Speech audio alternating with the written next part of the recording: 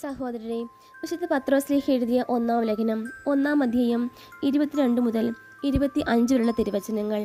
സത്യത്തോടുള്ള വിധേയത്വം വഴി നിഷ്കപടമായ സഹോദര സ്നേഹത്തിനായി നിങ്ങളുടെ ആത്മാവ് പൗത്രീകരിക്കപ്പെട്ടിരിക്കുന്നു നിങ്ങൾ ഹൃദയപൂർവകമായും ഗാഠമായും പരസ്പരം സ്നേഹിക്കുവിൻ. നിങ്ങൾ വീണ്ടും ജനിച്ചിരിക്കുന്നത് നശ്വരമായ ബീജത്തിൽ നിന്നല്ല അനശ്വരമായ ബീജത്തിൽ നിന്നാണ്. സജീവവും സനാതനവുമായ ദൈവവചനത്തിൽ നിന്ന്. എന്തെന്നാൽ മനുഷ്യരെല്ലാം പുലിക്കൊടിക്ക് തുല്യരാണ്. അവരുടെ മഹിമ പുല്ലിന്റെ പൂവിന് തുല്യവും പുലിക്കുടികൾ വാടിക്കരിയുന്നു പൂക്കൾ കൊഴിഞ്ഞു വീഴുന്നു എന്നാൽ കർത്താവിന്റെ വചനം നീട്ടി നിലനിൽക്കുന്നു. ആ വചനം തന്നെയാണ് നിങ്ങളോട് പ്രസംഗിക്കപ്പെട്ട സുവിശേഷം.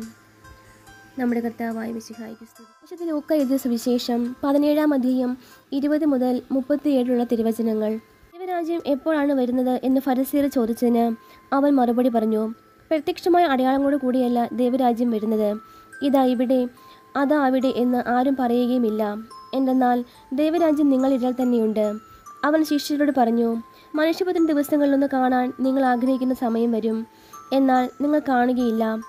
അതാ അവിടെ ഇതാ ഇവിടെ എന്ന് അവർ നിങ്ങളോട് പറയും. നിങ്ങൾ പോകരുത്. അവരെ നിങ്ങൾ അനുഗമിക്കുകയും അരുത്. ആകാശത്തിന്റെ ഒരറ്റത്ത് നിന്ന് മറ്റേ അറ്റത്തേക്ക് പായുന്ന മിന്നൽപ്പിണർ പ്രകാശിക്കുന്നത് പോലെയായിരിക്കും തന്റെ ദിവസത്തിൽ മനുഷ്യപുത്രനും.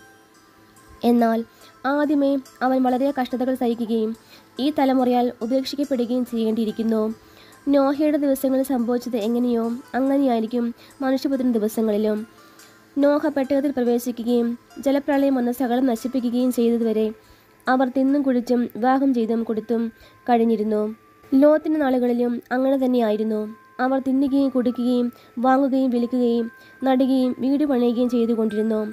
പക്ഷേ ലോത്ത് സ്വാതോമിൽ നിന്ന് ഓടിപ്പോയ ദിവസം സ്വർഗത്ത് നിന്ന് തീയും ഗന്ധകവും പെയ്ത് അവരെല്ലാം നശിപ്പിച്ചു.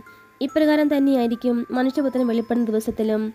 ആ ദിവസം പുരമുകളിൽ ആയിരിക്കുന്നവൻ വീട്ടിനകത്തുള്ള തന്റെ സാധനങ്ങൾ എടുക്കാൻ താഴേക്ക് ഇറങ്ങി പോകരുത്.